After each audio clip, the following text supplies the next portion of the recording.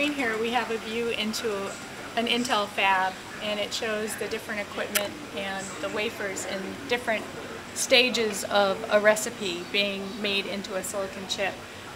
The fab uses different equipment than you would see in other factories. This orange container here is called a FOUP, which is a front opening unified pod and what it actually does is it has 25 wafers.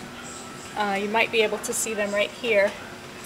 It's barcoded when it enters the fab and that barcode is identifying it for a particular recipe. The FOUPs are very heavy when they're fully loaded, so there's a lot of automation in the fab, and this will get picked up and brought up into the ceiling, where it will travel to the next station on the recipe. And it's, there's uh, 40 miles of track, ceiling track in a fab, which will take the FOUP from station to station.